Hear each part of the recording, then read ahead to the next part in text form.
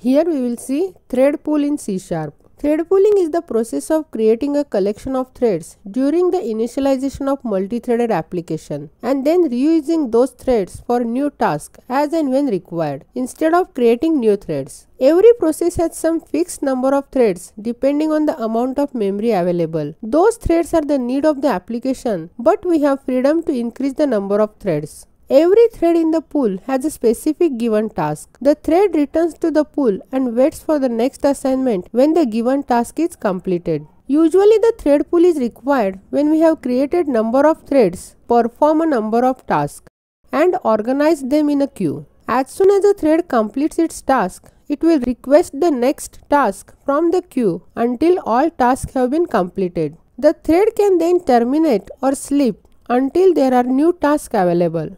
The system.threading namespace contains the thread pool class which has many static functions to create and use thread pool. The thread pool improves the responsiveness of the application. Here we will see one example for thread pool. Let us think about the Google Mail login page. There are thousands of users worldwide that want to log in in a short time to check their mails.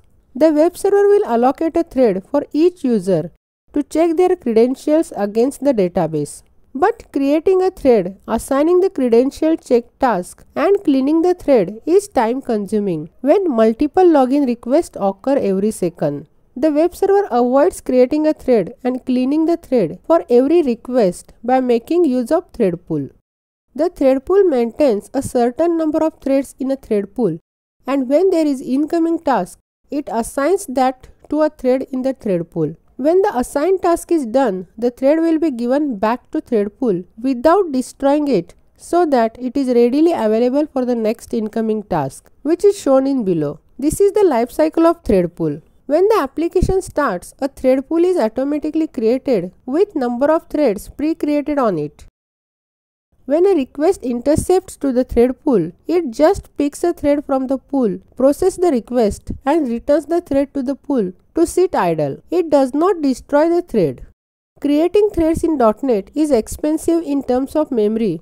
To handle this, thread pool is used. Next we'll see why should use thread pools. Threads are expensive as they consume a lot of resources in your system for initialization, switching context and releasing the resources they occupy. Normally when a thread is performing input-output operations like file handling, database operation or accessing the network resources, the thread is blocked by the operating system until the input-output operation is complete. The thread will resume its CPU operation after its input-output operation is complete. A thread pool is a good choice when you want to limit the number of threads that are running at a given point of a time and want to avoid the overhead of creating and destroying threads in your application. It is also a good choice when you have many tasks in your application that need to be executed either in parallel or concurrently and you would like to improve the application's responsiveness by avoiding the context switching. Next we'll see how thread pool work. When working with the thread pool,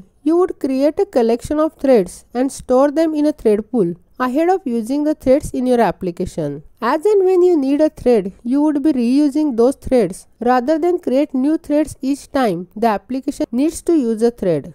So the application would make a request to the thread pool to get a thread from it and perform activities using the thread and then return the thread back to the thread pool when done. Thread pools are useful in situations when you have more tasks to execute than you create threads in your application.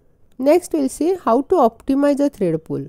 When a process starts, it is allocated a pool of threads by the CLR. You can configure the size of the thread pool if you need. When the thread pool starts, there is just one thread in the thread pool. Then the thread pool manager creates more threads and stores them in a thread pool as the load on the application increases. That is, the application needs more and more tasks to be executed concurrently. The number of threads that can be available in the thread pool at any given point of time is governed by the maximum permissible limit of threads in the thread pool. That is, the number of available threads in the thread pool varies from time to time depending on the consumption of the threads by the application. As soon as the maximum limit is reached, the application creates new threads much more infrequently. You can always set the upper limit permissible threads in the thread pool. To do this, you should take advantage of threadpool.setMaxThreads property. And to set the lower limit of the threads in the thread pool, you can use the threadpool.setMinThreads property. The default lower limit of the number of threads in the thread pool is one thread per processor.